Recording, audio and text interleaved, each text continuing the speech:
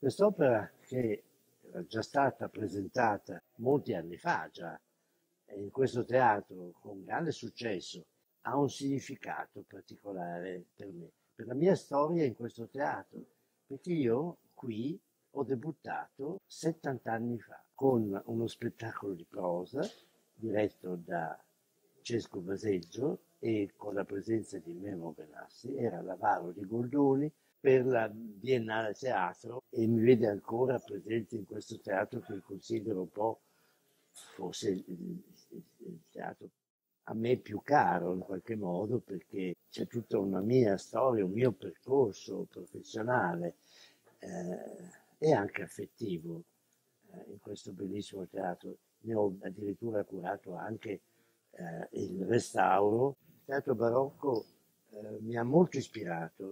Per la mia formazione di architetto e di scenografo, eh, io ho, ho, sempre dato ovviamente grande importanza all'immagine. Ora, il teatro barocco è un teatro di immagini fondamentalmente. Eh, se si pensa che in definitiva quando eh, questo, questo genere teatrale ha avuto così grande successo, in gran parte questo successo era dovuto anche alla, alla, al talento, alla, alla, genialità di grandi scenografi come Giacomo Torelli, come tutta la dinastia dei Galli da Bibina.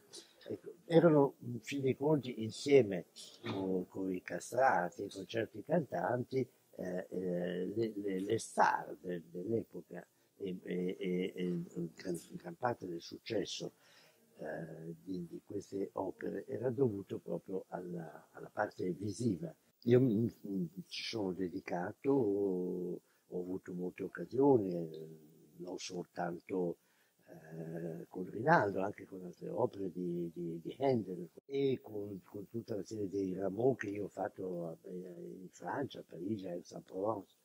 Eh, al punto che, che eh, in qualche modo rischiavo di, di, di, eh, ehm, eh, di, essere classificato come un specialista di questo genere. In realtà, eh, non, non, siccome le, le, etichette non, non mi piacciono, eh, evidentemente mi sono anche subito rivolto ad altri generi teatrali. Il Rinaldo è forse un po' il pu- vero punto di, di, ehm, eh, di, di partenza per, una, eh, per un'idea che io che, che, che, questo tipo di teatro mi ha ispirato e mi ha suggerito.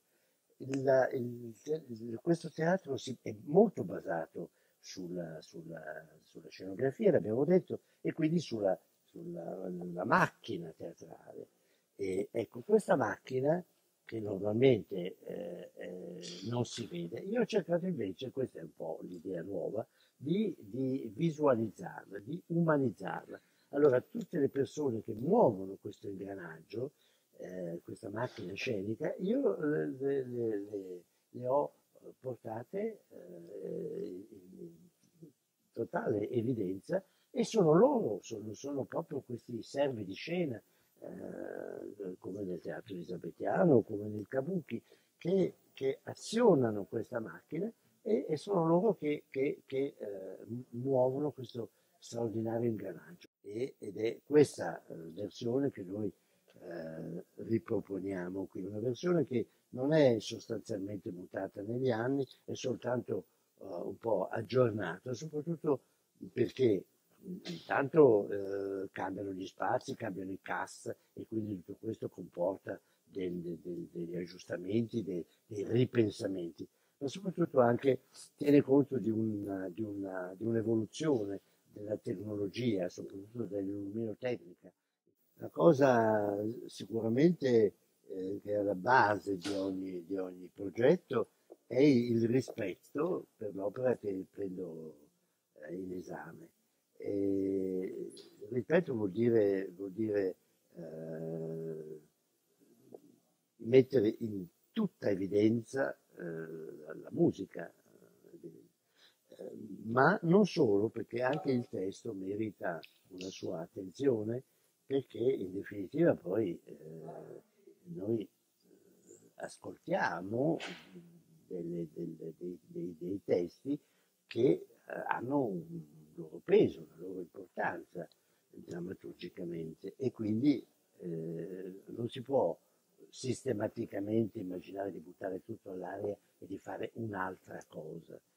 Io cerco di fare quell'opera, di farla al meglio.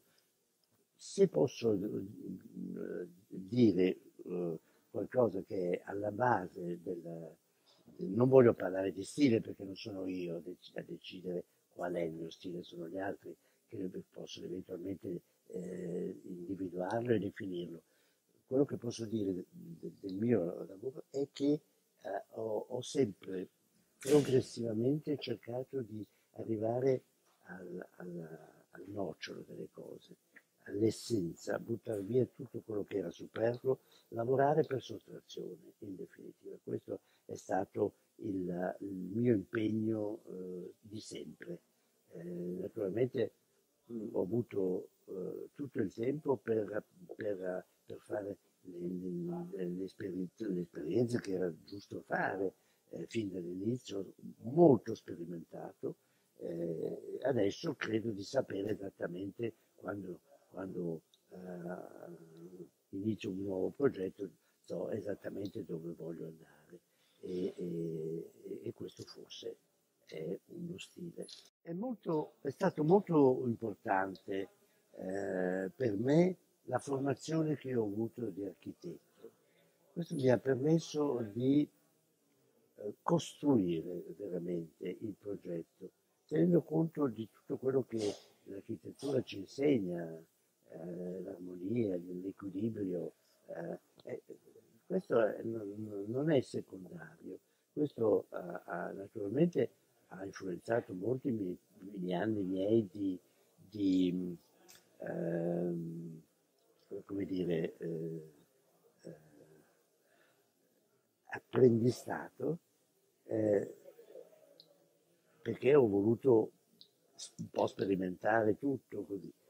Eh, eh, però l'ho sempre fatto con, con estremo rigore, con, con, con, grande determinazione, cioè ho sempre, eh, e poi naturalmente ho, ho, ho una, così una, mia estetica che, che, eh, che, caratterizza un po' poi le, le, le scelte figurative che io propongo.